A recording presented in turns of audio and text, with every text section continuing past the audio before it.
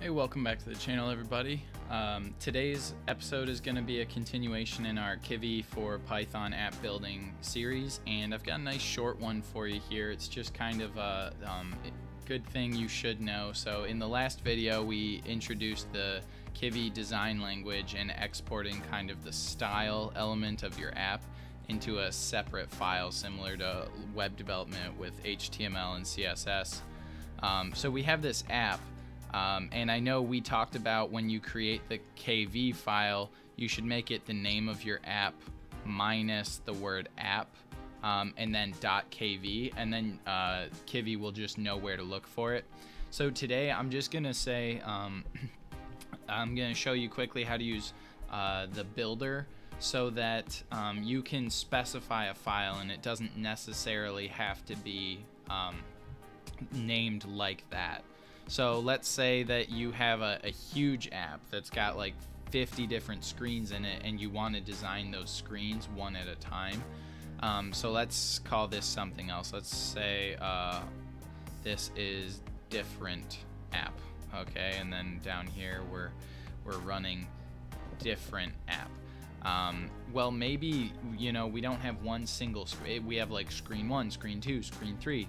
Um, so we don't necessarily want uh, to just have to make it called call it different.kv. Um, and you can see there's nothing on the screen now because it's not called different.kv. Um, so if I run this, there's nothing. Um, there's a way to actually load a specific file using the builder.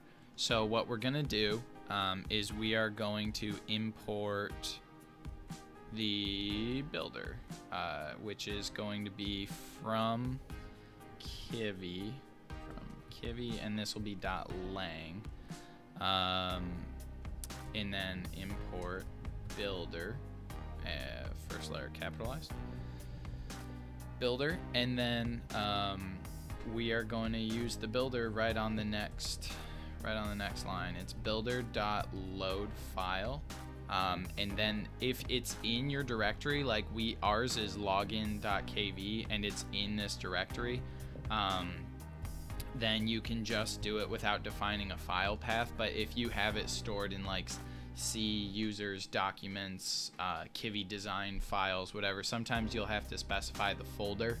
If you have a bunch of them and you're grouping them all together in a folder, you might have to say, you know, Kivy design files slash login. Um, but so now we we should be loading in the uh, Kivy file from before. And if let's go ahead and run this now and see if that's working. Yep. So if you design like multiple different interfaces um, and you want to be able to switch between them, that's when you would call the builder. Uh, so that's um, that's kind of a good thing to know. I'll probably keep the builder in here for future videos, but as long as you're working on one screen, there's no reason you can't um, just make the name of your app uh, also the name of your Kivy file. So the builder's a nice thing. It, it's how you'll load files even if um, even if like you want to put images or things on the screen, which we'll take a look at later. Um, using the builder is super useful, so I definitely want to introduce that tool. And then one other thing we didn't talk about in the previous video, just because that was kind of a longer video. Now that all of the um, widgets that we're creating are being uh, specified inside of our design Kivy file, we can actually go ahead and um, we don't need these anymore. You see, they're already grayed out. We can get rid of all that. Um, we also could get rid of the import Kivy, but I like keeping it there. Um, but we don't need to import button, label, text input, grid layout, any of that specifically because the Kivy de design file calls it out. Um, so I cleared that out and yep, we still get everything. So uh, that's just an, a useful quick introduction to the Kivy builder function. I'm um, not gonna chew up too much time on this video. That's a nice little um, intro to a useful tool. So hopefully you found that useful. If you have any questions about why using that or how to use that, go ahead and let me know about in the comments below. If you found this or anything else on the channel useful, I really appreciate a like and a subscribe. It helps the channel out a ton. And as always, good luck with your code and thanks for watching. Thanks. Bye.